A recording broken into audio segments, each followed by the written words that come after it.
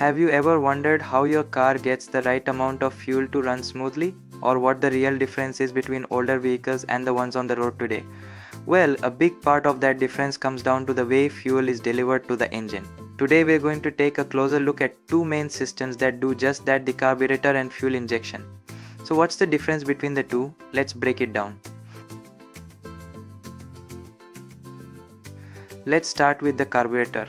This is the fuel delivery system used in most cars built before the 1980s, essentially. A carburetor is a mechanical device that mixes air and fuel together before sending it into the engine for combustion. It's a pretty straightforward system that relies on simple parts. Here's how it works. As air flows through the carburetor, it passes over a throttle plate that controls how much air enters the engine. Inside the carburetor, there's something called a float chamber that keeps the fuel at the right level. The suction from the air creates a vacuum that pulls fuel into the airstream and this mixture is then sent to the engine. While carburetors are relatively simple and reliable, they aren't very precise. This means that they can waste fuel because they can't adjust the air-fuel mixture as accurately as modern systems. As a result, older cars with carburetors tend to have lower fuel efficiency and higher emissions. Now, Let's move on to fuel injection. This system has replaced the carburetor in most modern vehicles and it's easy to see why.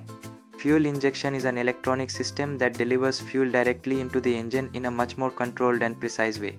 The fuel injectors are controlled by the car's engine control unit or ECU which adjusts the fuel delivery based on inputs from various sensors throughout the vehicle.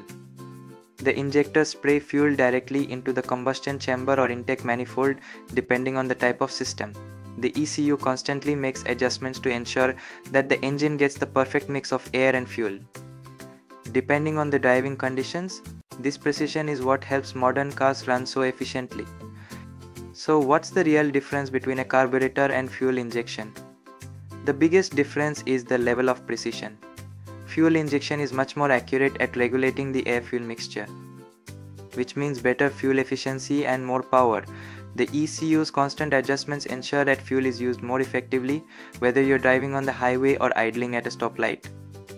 In terms of fuel efficiency, carburetors tend to waste more fuel because they can't adjust in real time.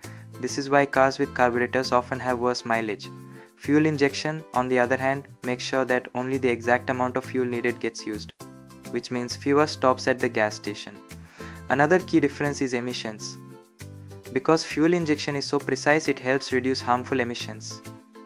Carburetors in comparison tend to release more pollutants because they can't regulate the mixture as effectively. Let's take a look at the pros and cons of each system.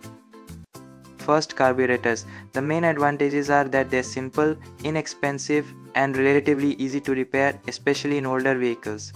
However, they don't perform as efficiently as fuel injection systems. They waste more fuel, produce higher emissions, and need regular adjustments to stay in top shape. On the other hand, fuel injection systems have a lot of benefits. They are far more efficient, which means better fuel economy and lower emissions. They also provide smoother performance and require less maintenance over time. The downside is that they are more complex and if something goes wrong, repairs can be costly.